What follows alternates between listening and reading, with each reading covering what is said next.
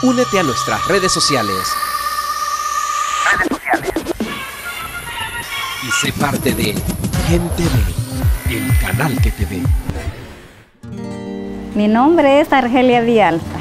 Mi dulcería comenzó hace tres generaciones, sea mi madre, mi madre, mi hermana, mi madre, mi abuela, mi madre y yo.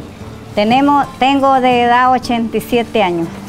hoy mi dulcería ha progresado con, con mis hijos, que son tres. Ellos me ayudan a elaborar dulces y tengo unas empleadas desde hace años. Doña Argelia Villalta es una vicentina emprendedora que ha dedicado su vida a este negocio familiar que data desde 1864, el cual ha pasado de generación en generación.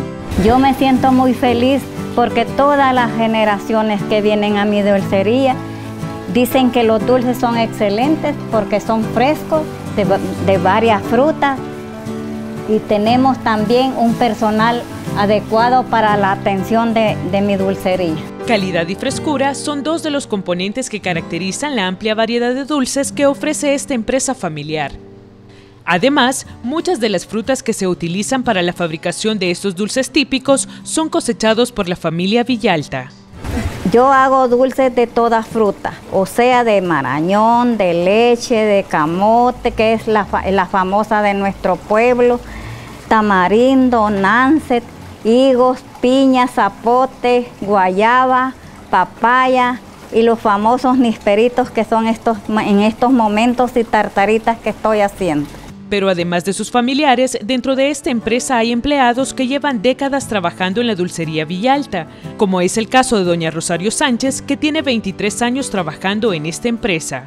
Es quizás una parte es de que me gusta mucho este trabajo. Sí, quizás por eso es que he seguido en esto, porque me gusta mucho la elaboración de los dulces. De todos me gusta hacer, pero en su mayoría quizás los higos en miel. Si aún no ha probado los dulces Villalta, aproveche cuando vaya a San Vicente y disfrute de estos dulces artesanales 100% salvadoreños.